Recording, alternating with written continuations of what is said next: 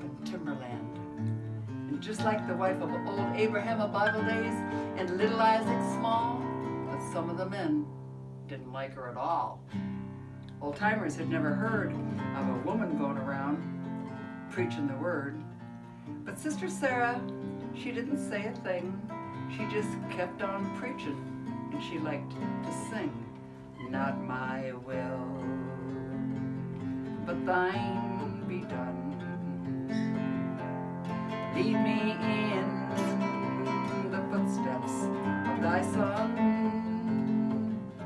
and let me know what you want me to do. And I will follow, I'll follow you. Well, they decided to put Sister Sara to a trial. So the preachers rode in from many mile to ask her questions. But they found she knew the King James Version through and through. And then they asked her to preach, all set to scorn. And from early evening to early morn, they wanted to stop her, but they couldn't try, because none of them's eyes was very dry. And when she picked up the guitar that she brought along, every heart wept as she sang her song. Not my will, but thine be done. Lead me in the footsteps of thy Son,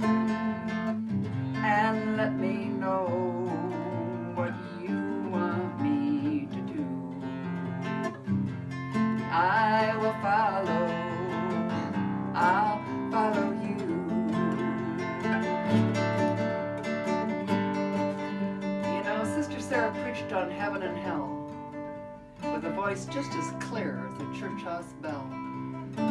Strong and warm, like an old friend, she made living right seem better than sin. An old man stopped her outside the door and said, Sister, I feel like we've met before. And she said, Why, you might have known my daddy way back. His name was the Reverend Mr. Black, and he had to walk that lonesome valley. And I've got to walk that valley too.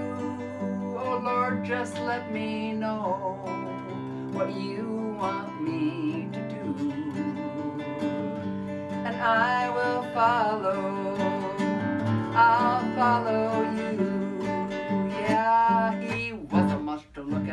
No, no, no, no, no. He rode easy in the saddle. He was tall and lean. And first you thought nothing but a streak of mean could make a man so downright strong. But one look in his eyes, and you knowed you was wrong. He was a mountain man. And I want you to know that he could preach hot hell or freezing snow. He carried a Bible and a canvas sack, and the folks just called him the Reverend Mr. Black. He was poor as a beggar, but he rode like a king. And sometimes in the evening, you could hear him sing. I got to walk that lonesome valley. I've got to walk it all by myself. Ain't nobody else gonna walk it for me. I got to walk that lonesome valley by myself. Listen, if ever I'd have thought that man in black was soft or had any yellow off his back, I gave that notion up the day a lumberjack walked in. And it was not to pray. He kicked open that meeting house door and he cussed everybody up and down the floor. And then when things got quiet in the place, he walked up and cussed right in the preacher's face. Why, he hit that preacher like the kick of a mule. And to my way of thinking, it took a pure fool to turn the other cheek to that lumberjack. But that's what he did. The Reverend Mr. Black, he just stood like a rock, a man among men. And he let that lumberjack hit him again. And then with words as kind as can be, he cut him down like a big oak tree when he said, You've got to walk that lonesome got to walk it by yourself. Ain't nobody else can walk it for you. You got to walk that lonesome valley by yourself. Well, it's been many years since we had to part, and I guess I've learned his ways by heart. I can still hear his sermons ring down in the valley where he used to sing. I followed that man, and I don't regret it. And I hope will always be a credit to his memory, because I want you to understand the Reverend Mr. Black was my old man, and I got to walk that lonesome valley. I got to walk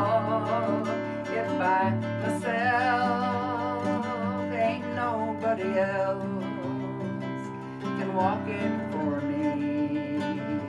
I got to walk that lonesome valley by myself. I wonder if I can.